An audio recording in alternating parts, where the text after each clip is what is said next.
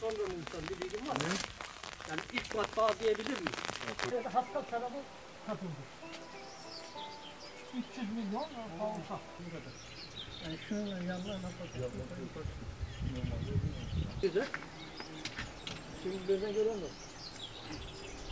Birileri şey yapmış. Yani ilk kaç uzaktan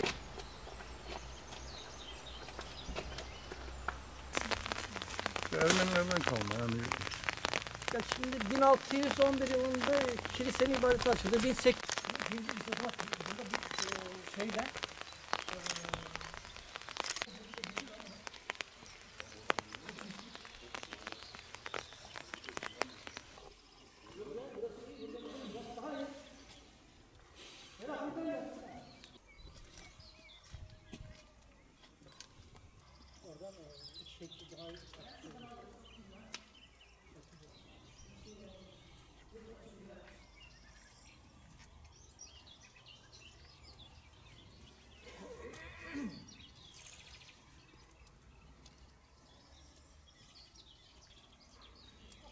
tarihe şeyimiz, duyarlılığımız burada. Yani şunun yanlarına bakın. yapmak yasak. Normalde. Okulun bu değil mi? Ama şimdi bu şey oldu.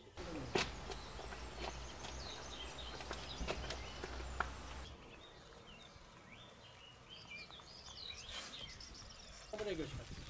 Anladın mı? Buraya yapılıyor geldi.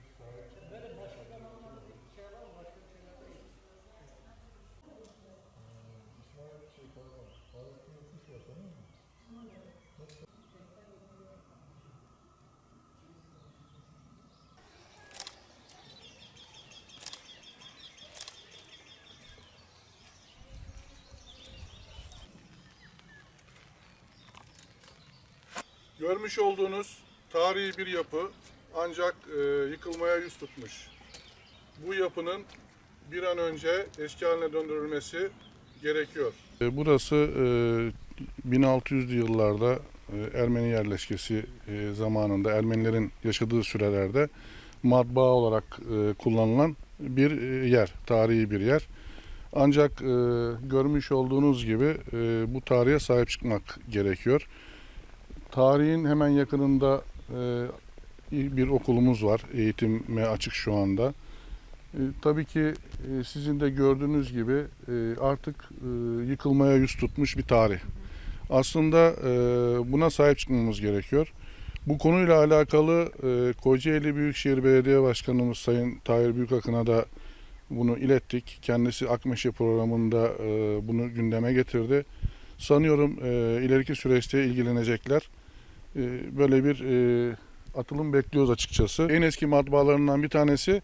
Hatta bunu e, Akmeşe'mizde e, şu anda ikamet eden e, Kadir Şinas iş adamı, iş insanı Ural Ataman Bey bir ara bir e, ufak bir restorasyon çalışması yapmak için burada e, bir çalışma başlatmıştı. Ancak o tabii anıtlar kurulu olunca e, durduruldu. O zamandan bu zamana yapılan e, hiçbir e, şey yok açıkçası. Matbaa adına yapılan hiçbir şey yok.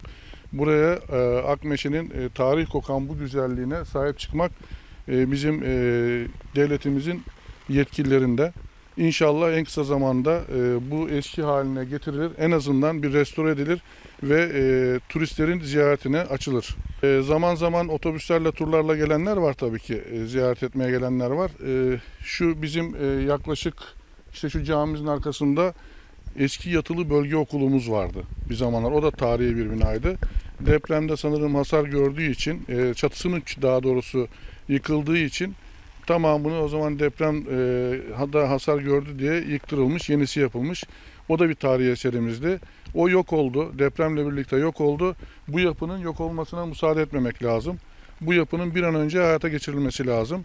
Ve e, inanıyorum ki buraya e, bu yapının yapılmasından sonra çok e, büyük e, kitlelerle turistlerin geleceğine inanıyorum. Bir de e, biliyorsunuz Kuzey Marmara Otoyolu'nun Akmeşe çıkışı var. Bu ulaşımı da kolaylaştırdı. Bu yüzden e, özellikle yetkililerden bu e, sayın belediye başkanlarımız olur, işte Kültür Bakanlığımız olur, efendime söyleyeyim e, Kültür Varlıkları Müdürlüğümüz olur. Buna sahip çıkmalarını bekliyoruz açıkçası.